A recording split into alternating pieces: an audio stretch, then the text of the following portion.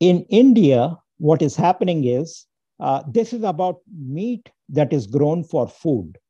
Uh, so, uh, you know, whether it is chicken, beef, lamb, pork, uh, whatever it is, um, I'm talking about livestock in general.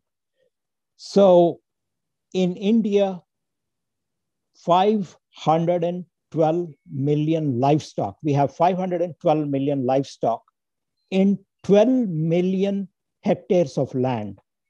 And this is according to Yashika Kapoor, who wrote an article called How India's Meat Industry is Impacting the Environment. This was published in uh, Indian Bioscience in October 2019.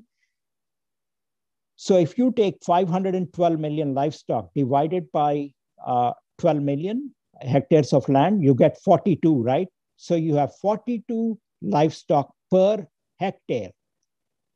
And do you know what uh, the Food and Agricultural Organization recommends?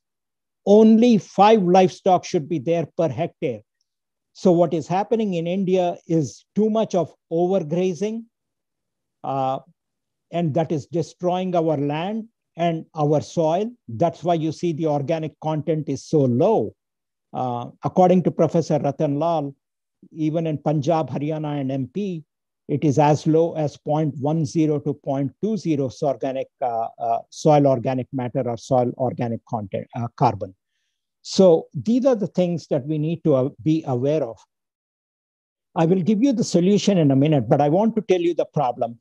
So if you look at it globally, according to globalagriculture.org, 60% of the world's agricultural land is used for beef production, and it accounts for less than 2% of our calories. That's all. Uh, but yet, 60% of that agricultural land is being used.